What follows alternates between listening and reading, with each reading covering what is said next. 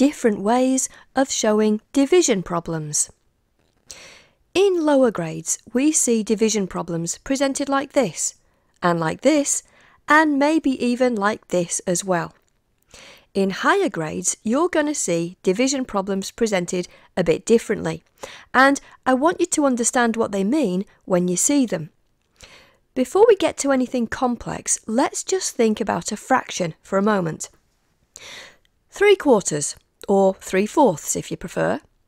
It means three parts out of a whole containing four parts.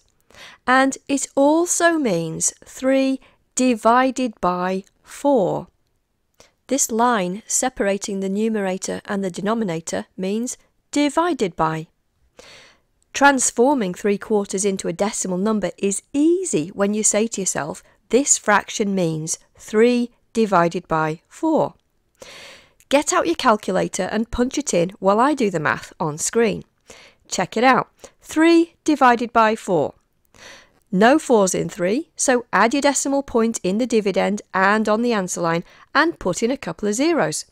Now, how many 4s in 30? 7 4s are 28, remainder 2. How many 4s are 20? 5 4s are 20. So 3 quarters, or 3 divided by 4, is 0.75. And of course, that's what you got using a calculator too. Remember, the line between numerator and denominator shows we are dividing. Now let's extend that understanding. A division problem can be presented just like a fraction, one value or even a problem that needs evaluating as a top line, a numerator, then a division line, then another value or grouping of terms as a denominator. This really gives you something to get your BEDMAS teeth into, and it's something you'll get in higher grades. First, translate the problem, say it out loud. That helps us realise what we have to do. 4 times the square root of 49 plus 2 squared divided by the square root of 121. This is not panic time for anyone. It's just time to recognise there's a bunch of simplifying and working out to do.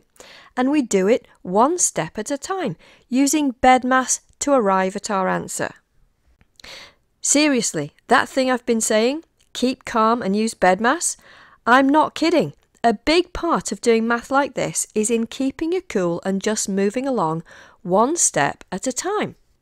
So let's do it now and prove we can make sense of it. We have two lines of math.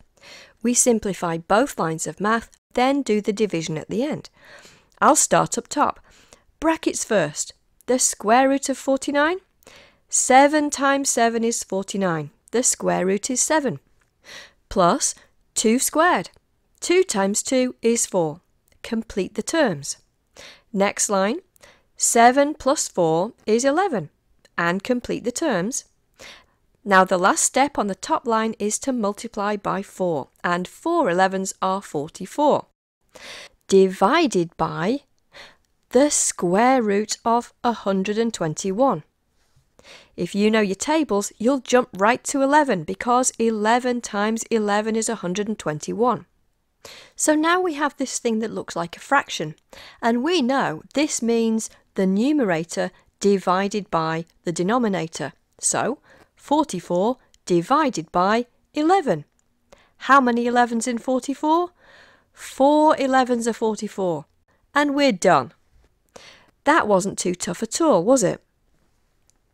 If you get a problem along these lines, it is not too hard for you. Work out one row at a time. Then do your division problem at the end.